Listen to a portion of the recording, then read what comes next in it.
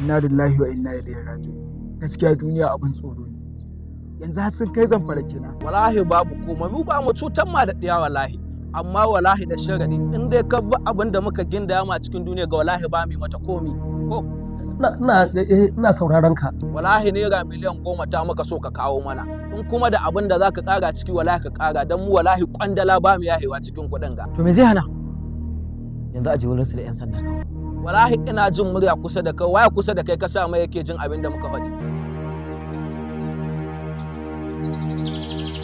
Baiwa Allah wani irin kallon ke yi min ne?